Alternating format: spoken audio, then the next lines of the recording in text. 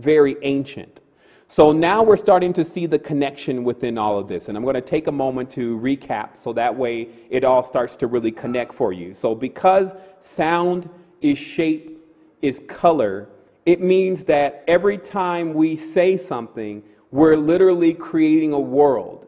But the perfection in what we're saying determines whether that world comes into existence, whether that seed grows up to become a manifestation, or it becomes null and void, meaning it falls into the chasm of nothingness. And let's look at a good explanation of that here. What you'll see is, is you'll see, these are one of the more uh, ch- uh, older charts of antiquity, that the language, and this is of course a priest, is to be pronounced a certain kind of way in order to activate the actual tone itself. And that's done by the palatio, it's done all the way down into the chest. And because the whole purpose here is, is that, see, in English, English just really the top of the mouth is used, not, and then maybe a little bit above what we would call the Adam's apple is used, but very little of the guttural tones that you see in the ancient languages. And there's a reason for this, because when you have the ancient language, you're actually speaking all the way from down deep, and then the word goes up through your passages which would be your chakra centers, and then comes out of your mouth in full manifestation because you've now taken that word and you've pronounced it properly. So, what you're seeing here is, is the diagram showing that where the words are actually pronounced and how that connects with the windpipe and how that actually connects with other parts of the body. So, that way, when a word is pronounced, in order for it to fully manifest, then it must go through the chakra centers of the being.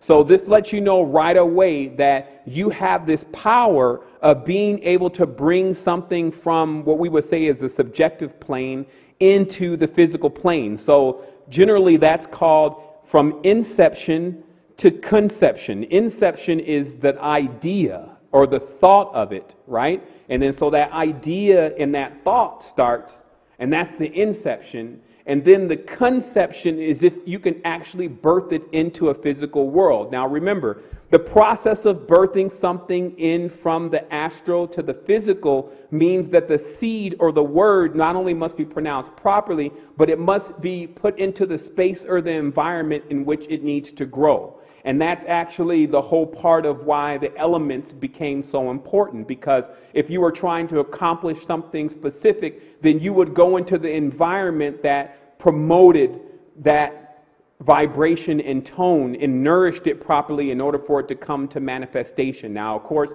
today this is called magic, but there actually was no use for languages beyond this purpose, meaning that there was actually no use for speaking verbally except for to create things. So many of the life forms and many of the things that we see here in the world today were created from using the tones and vibrations that the ancestors spoke. And these tones and vibrations have been existing throughout antiquity and even before time.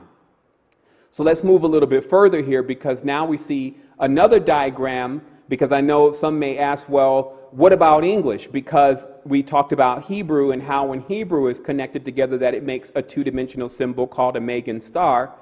When you take English, which is actually a cognate of Futhark rune and you rune stones, and you put all of that together, along with even the numbers and certain key symbolism that's used in the reality, you actually get this symbol, and this is known as the monogram of English because it contains every single pattern necessary to bring forth everything from the English language and the Futhark runes. In addition, when you study occultism, you find out that this is actually the diagram of the incarnated world that most are living in now if they've taken on the English language in their mind and they have they don't have another variation such as their own imagination or their own ancestral tongue etc in order to allow them to realize that the world is much more than just this symbol. So these symbols actually become more or less embedded within our consciousness and then begin to unpack themselves. So, symbols, once again, are encrypted expressions of vast states of thought.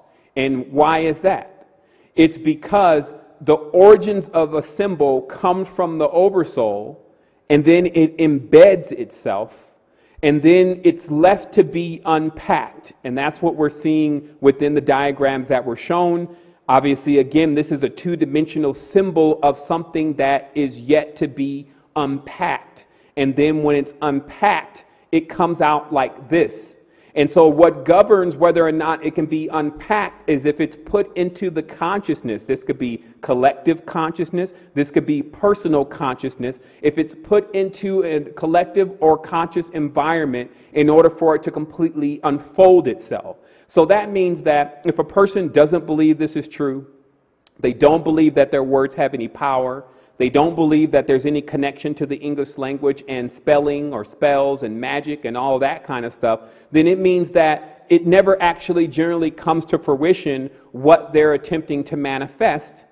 But we also have learned with things like The Secret and those kind of systems that what you think about and what you focus on does indeed begin to manifest. But that's a light version and explanation of what's really going on.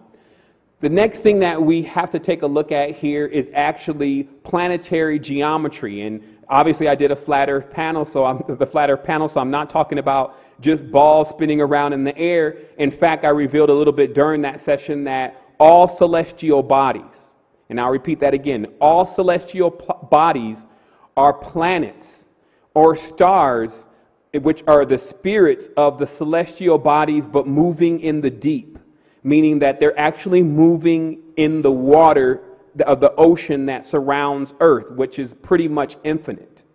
And their orbits create these patterns, and these patterns are because their shapes, their tones, their vibrations, and their modes of thought. And this is how we've come to actually understand even the gods and that's why the, the, gods generally represent themselves under these symbolism. Now, there's been a big corruption between what gods are because the word God actually means the Germanic god Gud. So, in every tense, I'm going to use a term that makes it a little bit easier, which is supreme being. You are a supreme being, you are a cosmos within, and the images that I'm showing you are just small variations and, and uh, portions of what you truly are.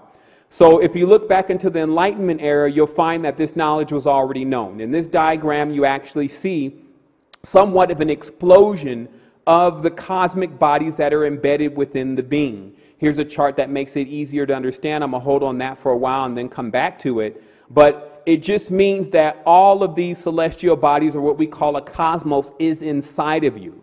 So, this is why you can actually create with words of power because indeed you are a supreme being and you have those tones and vibrations moving through you, and you have the environment in order to create things using those tones and vibrations. So, the act of creation itself is something that can be done by any being that is aware of their power. And in fact, Many people have children, so they're already witnessing their form of creation, of putting in their seed and allowing that seed to go into the womb, and then the womb beginning to manifest a baby version or a smaller version of the adult so that it grows up to emulate the adult. Now, our duty as parents then would be to keep growing to the stage of the oversoul so that way our children see our growth and then also follow the route that we go and begin to grow up into their total and full potential, which is actually limitless. Now, some more proof that this embedding of our chakra centers or the celestial bodies within us. So, let's talk about a couple things that are synonymous with one another. It would be our organs in our body, chakras, geometry, mandalas, mantras. So, all of that is actually the full comprising of the human being. So, we have a lot of power within us, and that power is yet to be manifested within many. But with this kind of knowledge, you begin to realize hey, this all connects. It's more difficult for me to believe that this is not happening, and then I better start to think about my own personal power versus bowing down or worshiping something or believing in something external or just not doing anything with the magnificent gift that you've been given. Now, here we have another ancient chart. And this chart, once again, shows those expressions of geometry embedded within the body. That's what's here. If you can still see it distinguished, again, it's rather old, so it came in a parchment that was slightly damaged. But if you notice that there's a reference to the zodiac signs, as you've seen in many charts about your chakra centers, etc., And there's a reference to the geometry of the orbits of the celestial bodies.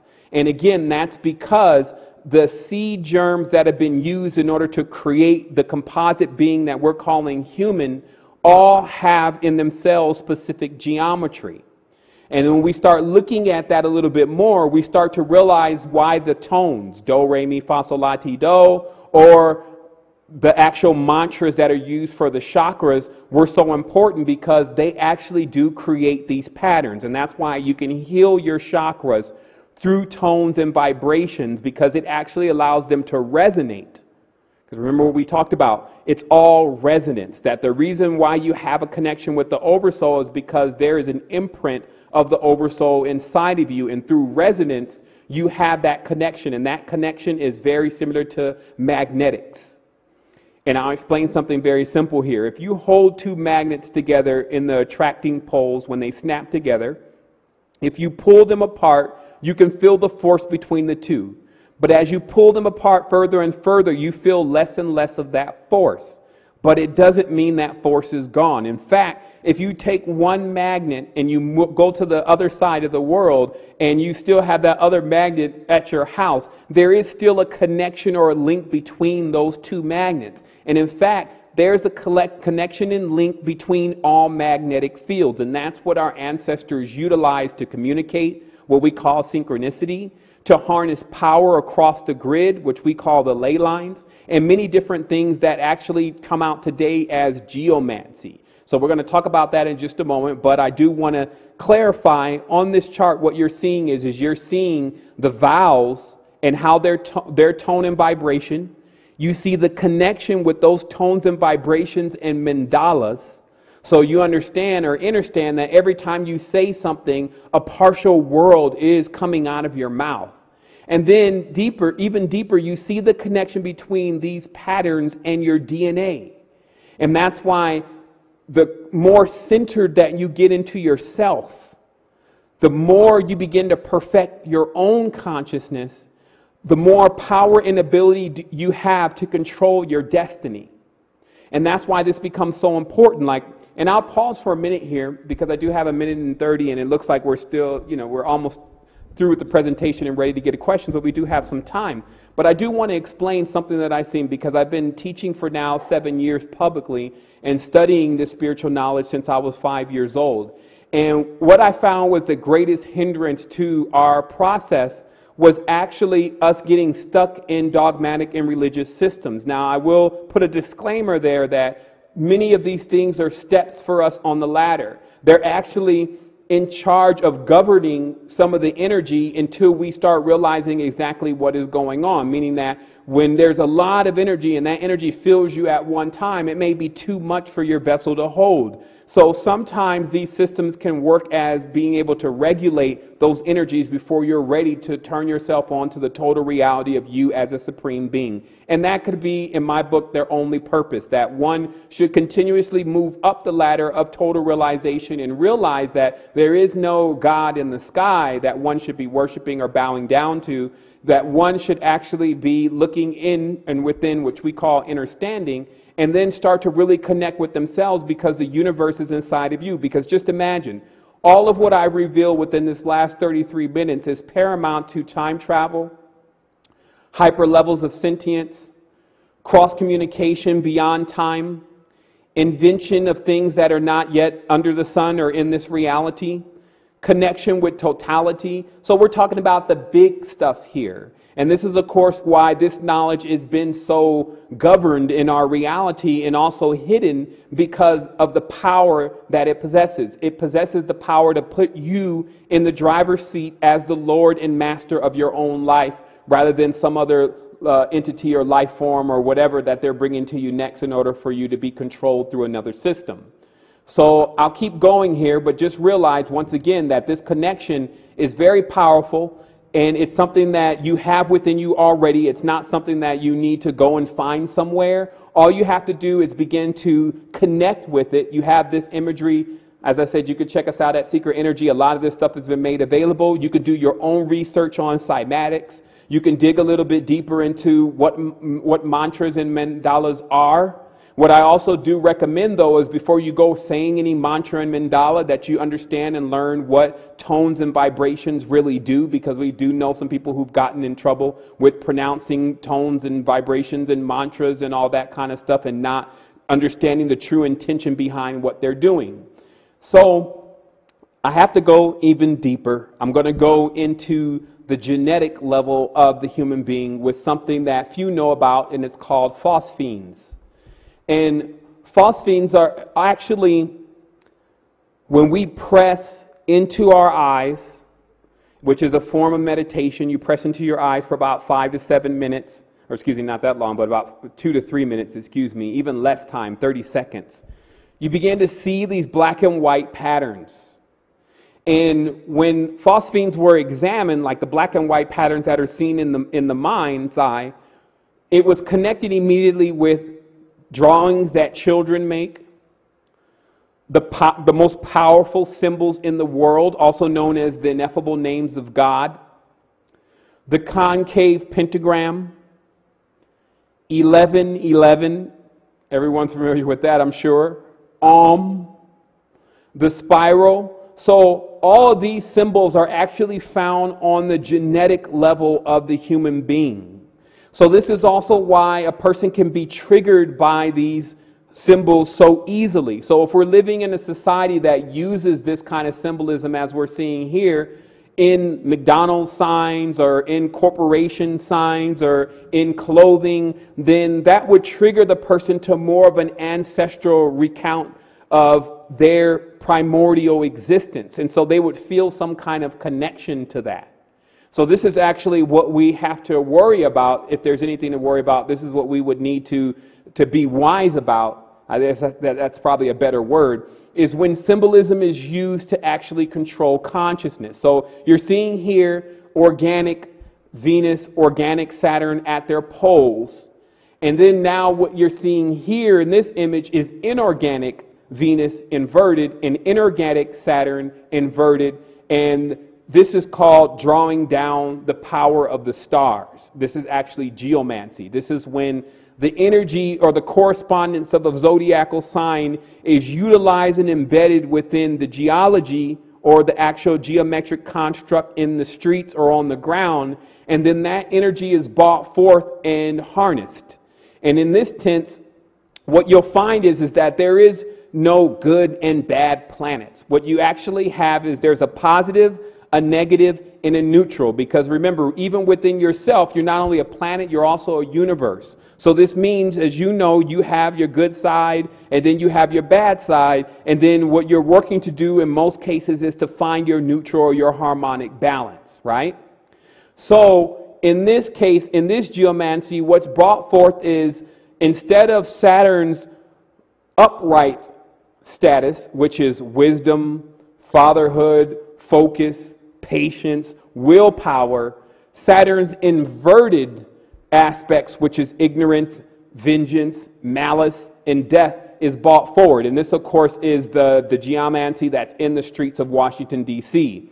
Once again, you have Venus, when upright, creates love, connectivity, sweetness, and passion, but when inverted, brings lust and disharmony and divorce, etc. So, this is how geomancy is used in order to draw down the power of the stars in order to infuse the area and all the things that are going on in that area the laws, the rules, the people who are walking in that territory, the decisions that are made in this White House, etc. And then I'm sure some caught that there's an inverted owl embedded within the, in the street. And the only way you know what direction it's facing is by how they point the pentagram, and the geometry lets you see what is true north.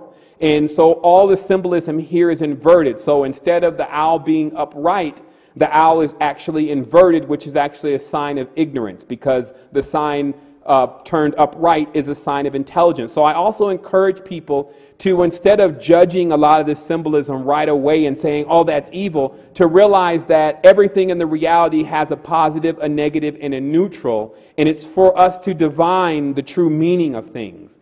But once again, there's another deeper level of this, and where this is our last level of depth. And then we're going to start taking some questions here. And that's how these signs and symbols, as I mentioned earlier, can be utilized in order to provoke a level of thought and a feeling inside of your consciousness that may instinctually feel right. And so this means that the level of manipulation that we're dealing with in the world today actually is utilizing the symbolism in order to trigger us into believing certain things. And then that symbolism is taken and basically formed and fashioned into the idealism of whatever they want you to think. So, what you're looking at here on the top is actually radiolaria. And this is George Haeckel's work on discovery of pulling things from the ocean during the Enlightenment era. What you're then seeing on the left is what we would call now the Maltese cross, which you now see on the crest of Knights Templar and most secret societies. And that's used as a symbol of power, but its original origin is actually from the ocean. That's why it tends to connect back to the Merovingians or the Holy See, because they're direct plagiarizations from things taken from our mother or our womb. So, what you're seeing, just in a nutshell, is symbolism is taken from the origins of life. And then that symbolism is in turn used to trigger our consciousness into believing in something that actually has a far more primordial existence than what generally is depicted. So we see even in the center a radiolaria that looks like the Virgin Mary, but is actually something that is pulled from the ocean that may indeed contain that kind of essence. In addition, addition you see another cross that is pulled from the ocean. And in the, in the end, most geometry you'll find pentagrams, hexagons, etc., are found in the ocean. So they don't actually have a connection with many of these religious systems and dogmas. They have a, collect, a connection more with what goes on in the ocean and how that comes about in our reality today. But I do want to say before we come to a conclusion that you need to know where your power comes from. And what that's going to allow you to do is it's going to allow you to not be fooled by all these systems that are out here that are claiming that, you know, they have the power and that, you know, that you should worship them and that the symbols belong to them because that actually begins to distort our consciousness. And then when you begin to see all this and study what I'm showing you, you begin to see not only that this comes from organic nature, but also that it's within you. And so the only thing necessary is for you begin for you to begin to study self. And then when you study self, then you unlock all things.